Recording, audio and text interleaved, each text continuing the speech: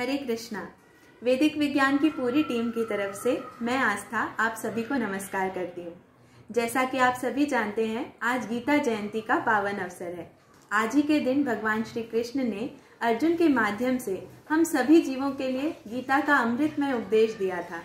तो इससे अच्छा मौका और क्या होता, आप सभी दर्शकों से मिलके आपका धन्यवाद करने का।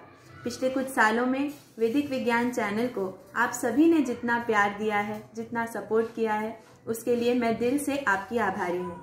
आप में से कई लोग जानते ही होंगे कि आजकल हम डेली बेसिस पे गीता का एक श्लोक हिंदी शब्दार्थ के साथ अपलोड कर रहे हैं।